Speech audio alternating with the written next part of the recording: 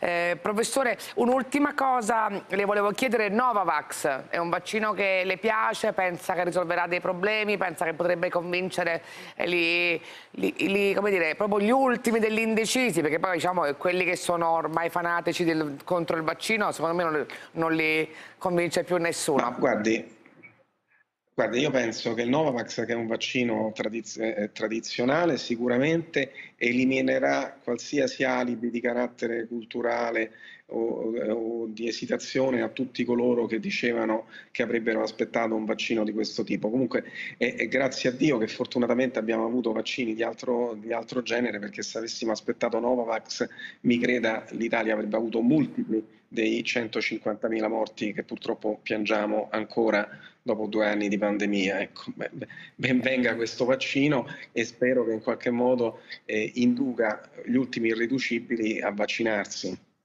Professore, la ringrazio molto, ci vediamo molto presto. Io devo leggervi invece quello eh, che sta... Arrivederci, Mirta. Arrivederci, sta accadendo in...